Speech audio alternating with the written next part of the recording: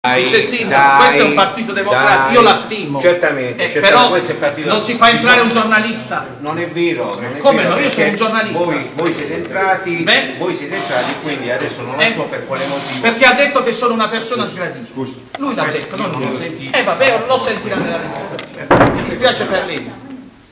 Signora? Hanno invitato anche i liberi cittadini ad uscire per questo. Ma il giornalista con, con tutto il rispetto per io devo fare un attimo lavoro. con me, gentilmente. Dove? Perché? Non ho niente da dirle. Io volevo ascoltare la conferenza stampa e mi è stata negata la possibilità di ascoltare una conferenza stampa. Non ho niente da dirle in privato. Nulla.